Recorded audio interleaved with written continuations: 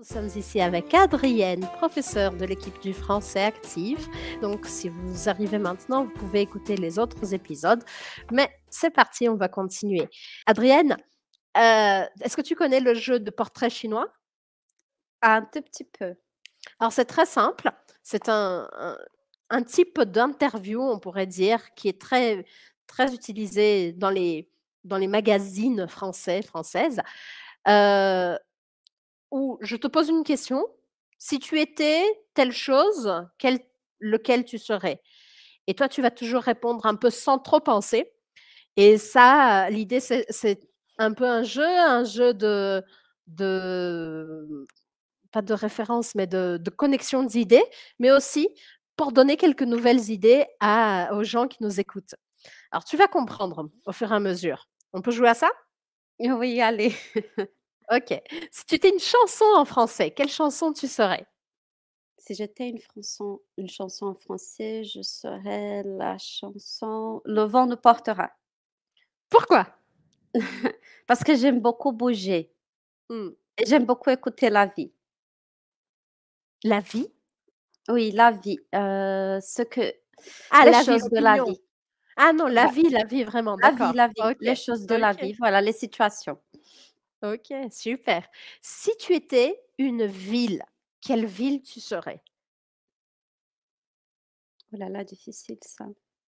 C'est très difficile cette question pour moi. Je suis née à la campagne, j'habite à la plage. Quelle ville je serais? Oh mon Dieu. Je sais pas, moi, je pense que je serais une ville, heu pas très loin de la campagne, mais qu'il y a la plage, comme le Chuy, je sais pas. D'accord, le Chuy, c'est au Brésil aussi, Oui, donc pour que vous ouais, sachiez. Moi, je ne connais pas le Chuy. C'est comme ça, il y a la campagne et la plage, donc.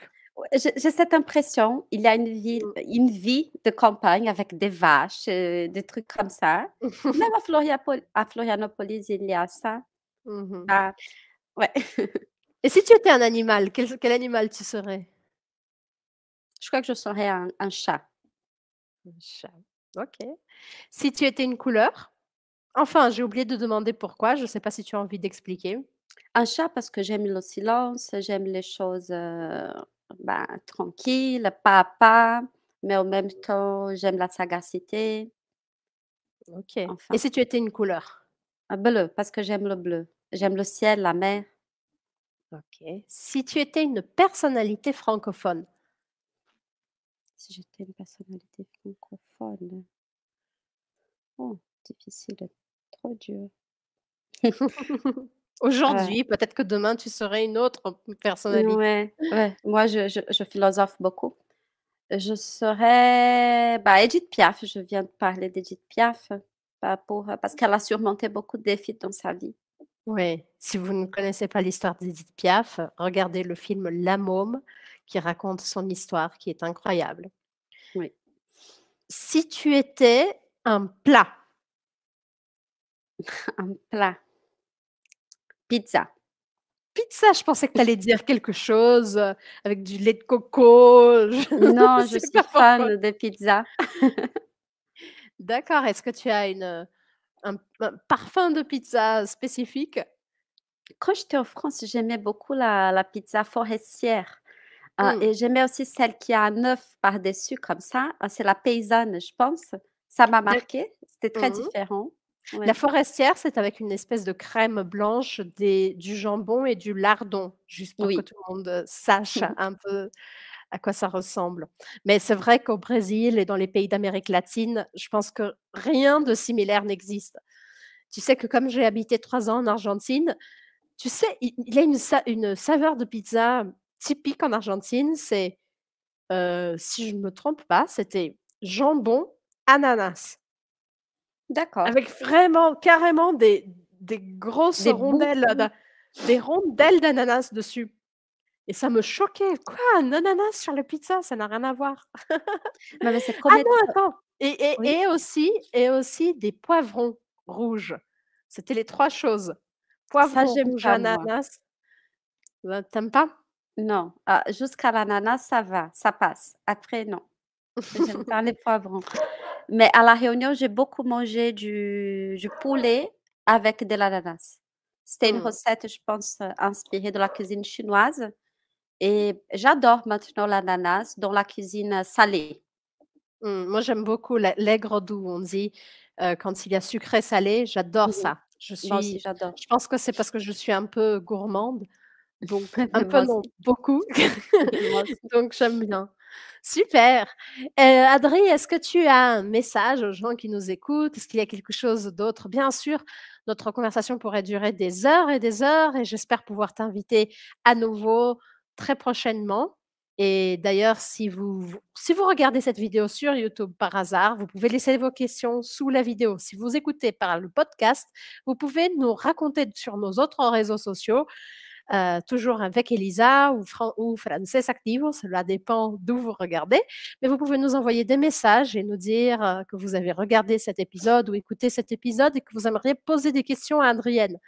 Maintenant, je laisse aussi cet espace ouvert à Adrienne. Est-ce que tu aimerais dire quelque chose de plus?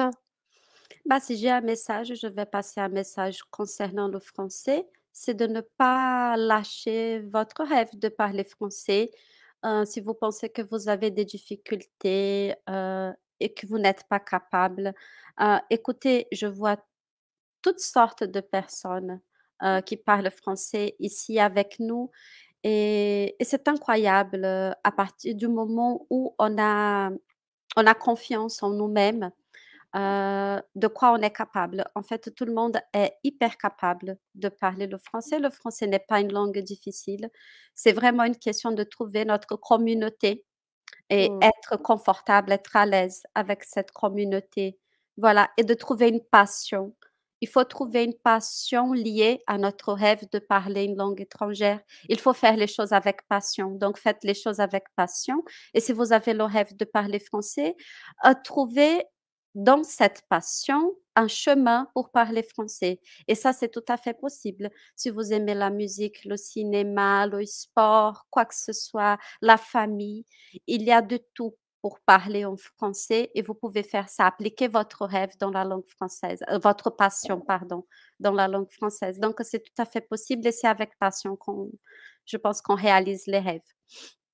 Super, merci beaucoup Adrienne. Merci de faire partie de notre équipe et d'avoir accepté cette invitation.